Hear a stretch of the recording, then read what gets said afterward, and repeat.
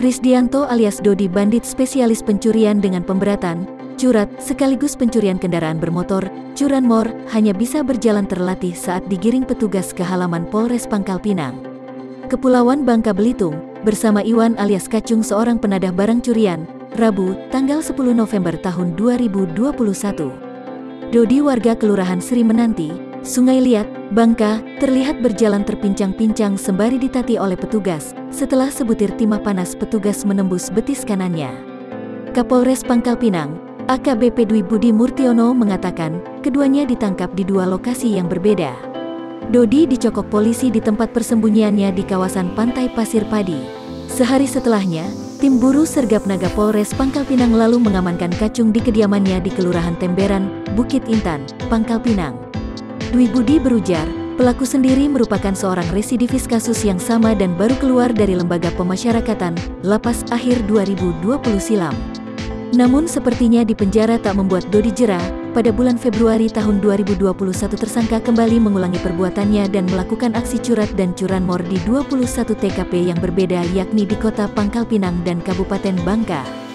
Sebelum melancarkan aksinya, Dodi terlebih dahulu melakukan pemetaan rumah maupun pemilik kendaraan bermotor yang kerap lalai meninggalkan kuncinya di kendaraan bak penjahat profesional.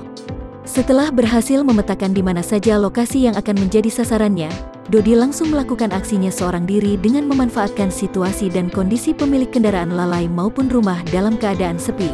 Operasinya dari pelaku tersebut sehingga pada saat di wilayah lain mengalami hal yang sama pencurian dengan pemberatan maupun uh, pencurian kendaraan bermotor kita bisa saling berkoordinasi.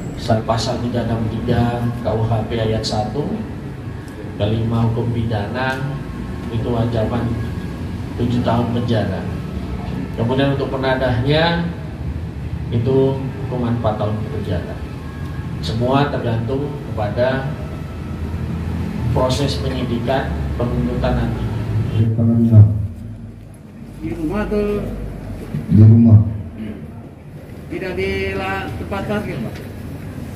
Di rumah. Satu motor itu dijual berapa ke kau? sejuta. Satu juta.